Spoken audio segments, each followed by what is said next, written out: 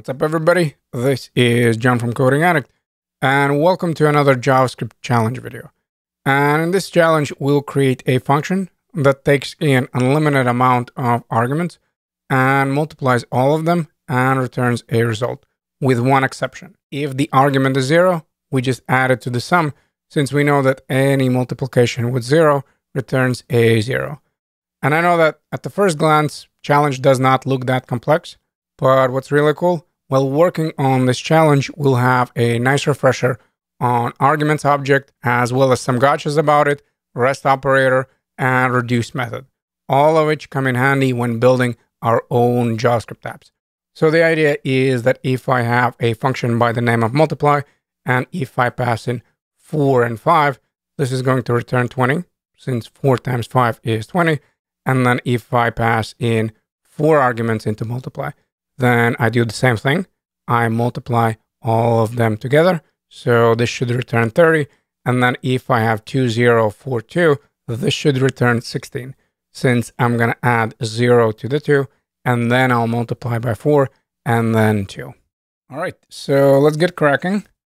And I'll start by coming out my console logs. And I'm going to set up a new function. I'll say function multiply and it shouldn't be a surprise that if I'll set up here the parameters, we can access it in a function body. We should be already familiar with that. So if I say here num1 and num2, we already know that we can access it anywhere in function body. And in my case, I'm just going to console log them. So I'll say num1 and num2. And if I'll invoke this function and pass in 2 and 4 or 3, of course, I can clearly see that in a console, I'll see those values. So that's good but it doesn't really solve our issue.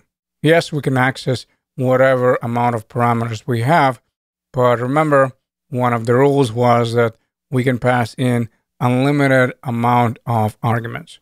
So what are you going to do? You're just going to guess of how many arguments. So you'll just continue with num1, num2, num whatever 99 and 1000. And of course, the answer is now there has to be a better way. And that better way, at least one of the options, is using the arguments object. How does that work? Well, in the functions with the good old function keyword, we can simply go here with arguments and we'll get array-ish like structure. And that is very, very important. And notice here how the item number one, meaning the item with the index of zero, has the value of two. So that's this guy over here. And then the second value the one with an index of one, of course, I can clearly see the value of three.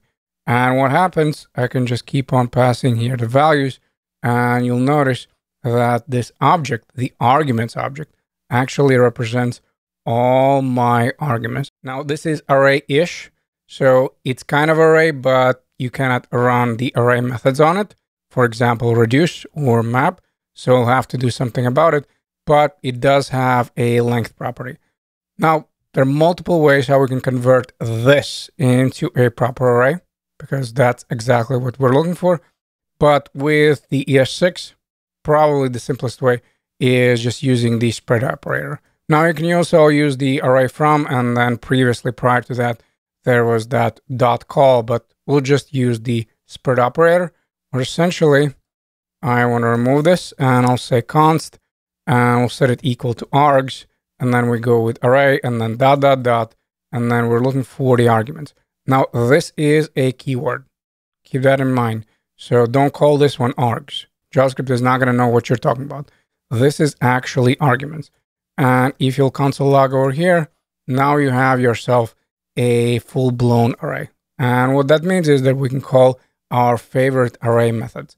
In our case, what method we're going to call? We're going to call a reduce. And I'll set it up a separate variable, but just remember that, of course, we can right away return our value as well. So in my case, I'm going to go with const result, and I'll set it equal to args, and then there's going to be a little bit of logic. And then next line, I'll simply say that I'm returning a result.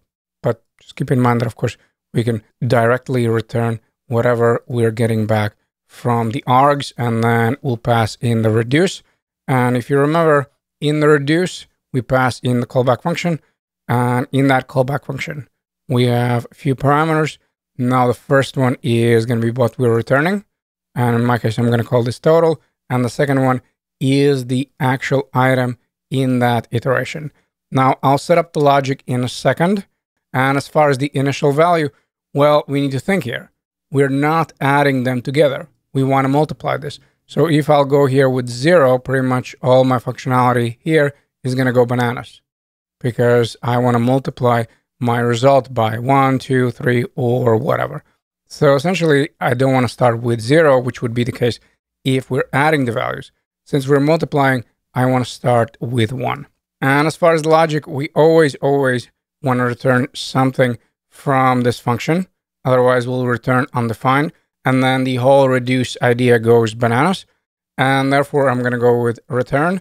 Then I'll check for the item and I'll use the ternary operator. So essentially, if the item is zero, then of course we know that it's going to evaluate to false. And then we'll use our second condition, meaning we'll add it to our total. However, if it's true, if it's truthy, which is going to be for rest of the integers, then of course we'll multiply. So in here, I'll say, if that is the case, if it's true, then I want to multiply my total with my item. However, if it's falsy, if it evaluates to false, then of course I'll just say item and then plus the total. And then once I save this, and once I uncomment my setup, I should see that with these two, I get 20. With these two, I also get 30. And then with these ones, I get the 16. Now, one gotcha with arguments is the fact that if you're using the arrow function, actually you don't have access to it. So let me comment this out. And then below my traditional function, I'm going to come up with arrow function. So say multiply. And that's going to be my arrow function. And if you'll try to console log the arguments, you'll see that you get nothing back. So with arrow functions, we don't have access to the arguments. So what is the solution in this case? Well, we can use a REST operator. Now I have a separate video in JavaScript nuggets about the REST operator. So we're not going to dwell on it, but effectively the idea is following where I just go with three dots and then I can collect the values in a similar fashion. And what's really cool, this right away returns an array. So we can simply take this, whatever code we have after the spread operator, and let me just uncomment this part over here. And we right away can run the reduce on this one. And the moment I save, notice again, we get back the same results. So those are the two ways how we can solve this challenge. If you're using the good old function, then you can use the arguments, or you can also use the rest if you want. If you use the arrow function, then rest operator is your friend, where you collect the values, then you run the reduce on that, and then check for the value. If it's zero, then just add to the total. And if it's any other number than the zero, then of course you just multiply.